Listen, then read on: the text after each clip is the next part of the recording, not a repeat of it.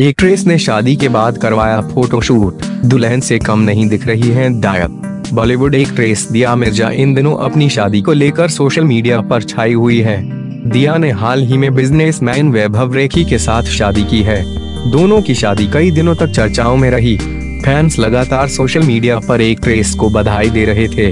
वहीं कुछ लोग उनके आउटफिट को लेकर ट्रोल कर रहे थे। लेकिन एक्ट्रेस का हाल ही में करवाया गया फोटोशूट तेज़ी से वायरल हो रहा है। फैंस को दिया का ये अंदाज काफ़ी पसंद आ रहा है।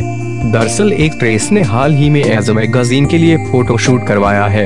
इन फ़ोटोज़ को देख फैंस कमेंट करने से खुद को रोक नहीं पा रहे हैं।